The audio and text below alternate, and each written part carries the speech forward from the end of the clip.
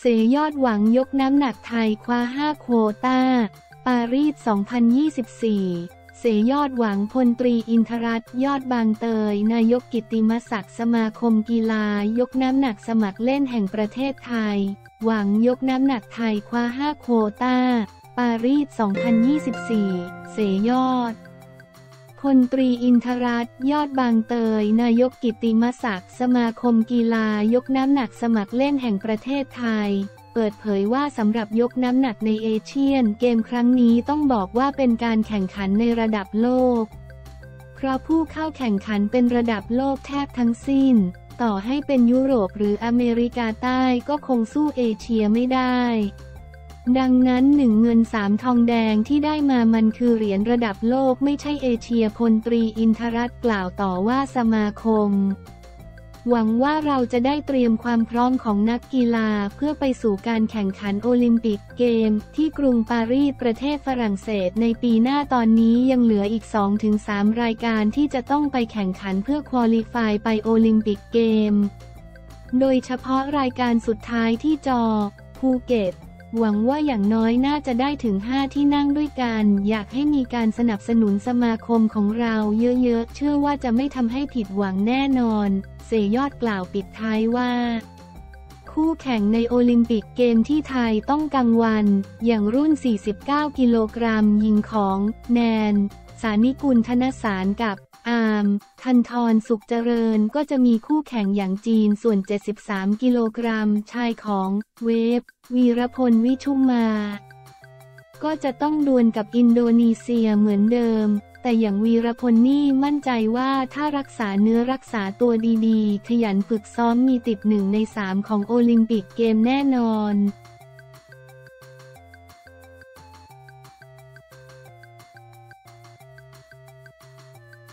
ดาแจงวุ่นเอาเจ้าพ่อมาปราบมาเฟียยันทำจริงสอบเส้นทางเงินสลาย อาณาจักรวันชัย จี้ถามปราบปรามผู้มีอิทธิพลทำได้จริง หรือไม่เหตุประชาชนรู้สึกเอาเจ้าพ่อมาปราบเจ้าพ่อ ชาดา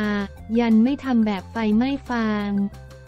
ยึดแผนปราบแอลคาโปนสอบเส้นทางการเงินทั้งอาณาจักร เมื่อเวลา 11 นาฬิกา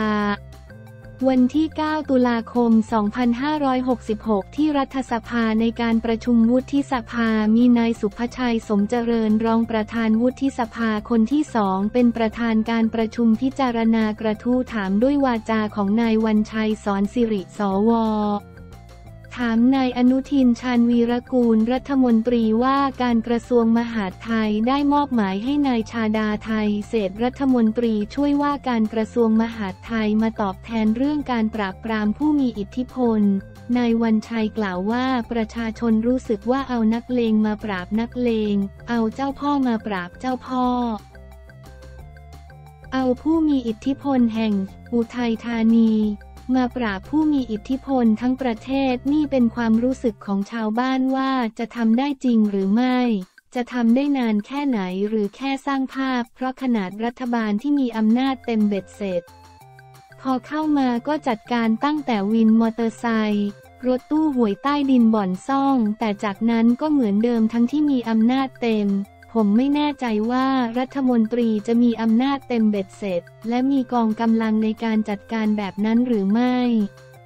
เพราะผู้มีอิทธิพลส่วนใหญ่มาจากบ้านใหญ่ ซึ่งครอบคลุมหรือเป็นนักการเมือง เป็นรัฐมนตรีเองเป็นนายกอบตอบจกำนันผู้ใหญ่บ้านพวกนี้ก็เป็นลูกน้องของบ้านใหญ่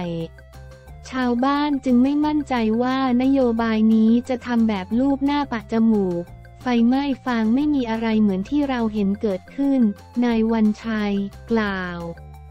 อยากถามรัฐมนตรีจะปราบปรามผู้มีอิทธิพลแค่ไหน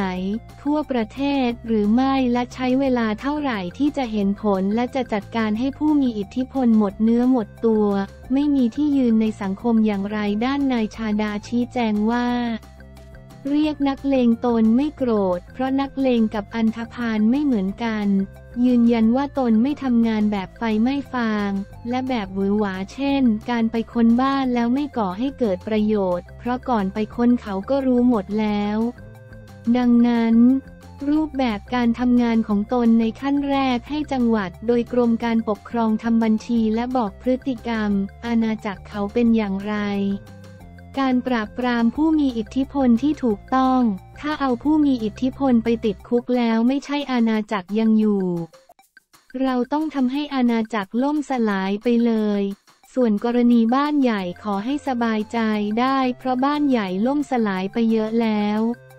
และเชื่อว่าบ้านใหญ่รุ่นใหม่คงไม่มาอาศัยผู้มีอิทธิพลแล้ว เพราะประชาชนเขาไม่เลือกหากไปข่มขู่แบบในอดีต ไปแจกเงินแล้วเอาปืนไปข่มขู่ยุคนี้ไม่มีแล้วในสังคมปัจจุบัน ดังนั้นขอให้สบายใจได้นายชาดากล่าวต่อว่าการปราบปรามผู้มีอิทธิพลจะใช้มาตรการทางภาษีตรวจสอบเส้นทางการเงิน เหมือนอย่างกรณีที่ประเทศอเมริกาปราบปรามกลุ่มของแอลคาโปนและทำให้กลุ่มอิทธิพลในส่วนแอลคาโปนหายไปจากอเมริกา อย่างไรก็ตามมาตรการของตนที่จะดำเนินการคือ บูรณาการทุกหน่วยงานตรวจสอบภาษีผู้มีอิทธิพลและคนข้างเคียง โดยนำกรรมการป้องกันและปรามปรามการฟอกเงิน ปปง กรมสรรพากรไปตรวจสอบเส้นทางการเงิน ทั้งอาณาจักร ทั้งนี้ตนไม่อยากให้งานปราบผู้มีอิทธิพลเป็นงานหวือหวาหรือไฟไหม้ฟาง แต่ต้องการวางระบบให้ดี พื่อบีบให้คนที่ไม่ดีออกไปและป้องกันไม่ให้คนไม่ดีเกิดขึ้น และถือเป็นการปราบปรามผู้มีอิทธิพลรูปแบบใหม่ ที่ตรวจสอบทั้งกระบวนการรวมถึงมือไม้ที่ทำงานให้นายชาดากล่าวด้วยว่า ขณะนี้อยู่ระหว่างรวบรวมรายชื่อผู้มีอิทธิพล ตามที่ประชาชนร้องเรียนทั้งนี้มีส่วนที่ดำเนินการไปแล้วคือในพื้นที่จอ ขอนแก่นและกทม ซึ่งเป็นความผิดปกติ เช่น กรณีมีการลักลอบนำเข้าแรงงานผิดกฎหมาย เป็นกรณีที่เจ้าหน้าที่ที่เกี่ยวข้องดำเนินการ แต่ในกรณีที่มีเครือข่ายในอาณาจักรเข้าไปทุกระบบ ผมไม่มีกองกำลังผมใช้เจ้าหน้าที่ตำรวจ เจ้าหน้าที่ของฝ่ายปกครองเข้าไปดำเนินการ ผมไม่มีหน้าที่ไปตรวจค้นจับกลุ่มใคร แต่มีหน้าที่ส่งข้อมูลเข้าระบบจัดการที่มีอยู่ และผมจะเอาความรู้ทักษะของผมเข้ามาดำเนินการผมจะตั้งใจทำงาน เพื่อให้เป็นเครื่องพิสูจน์ เป็นเวลาที่ต้องตอบแทนบุญคุณแผ่นดิน ถือว่าการมอบหมายงานนั้นถูกที่ถูกทาง ดังนั้นงานของผมถือเป็นความหวังของคนไทยจำนวนมาก แม้จะเป็นไปแบบนิ่มๆ แต่จะไม่ทำเพื่อตัวเอง อยากทำให้เห็นว่าทำแล้วหลังจากนี้ไม่มีคู่อิทธิพลเกิดขึ้นง่ายๆ เหมือนในอดีต นายชาดากล่าว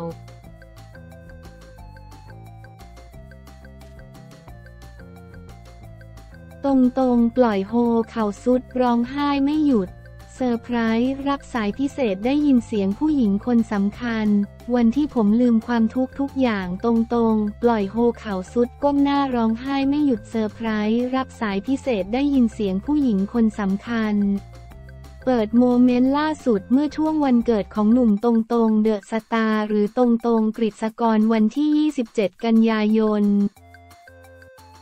66 ที่ผ่านมาได้จัดงาน fan meet วันเกิดเจ้าตัวโพสต์ด้วยว่า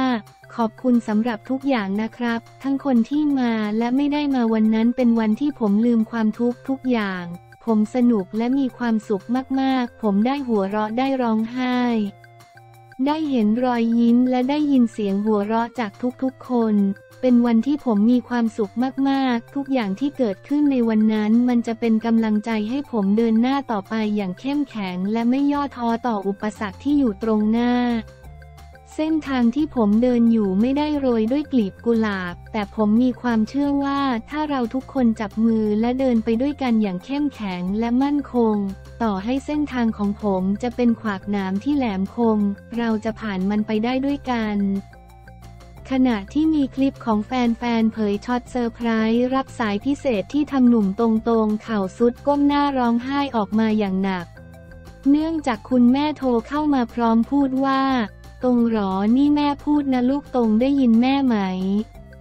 ตรงตรงเงยหน้าขึ้นมาน้ำตาอาบแก้ม วันนี้วันเกิดตรงใช่ไหมลูกวันนี้ก็อายุ 28 ปีแล้วนะ ลูกนะ ขออวยพรให้ตรงมีความสุขมากๆ ร้องไห้หนัก สุขภาพแข็งแรงมีงานเข้ามาเยอะๆนะ ลูกและก็มีแฟนคลับที่น่ารักด้วยนะ ขอบคุณแฟนคลับแทนน้องด้วยนะคะ ตรงๆ พูดอะไรกับแม่ไม่ออกได้แต่ร้องไห้หนัก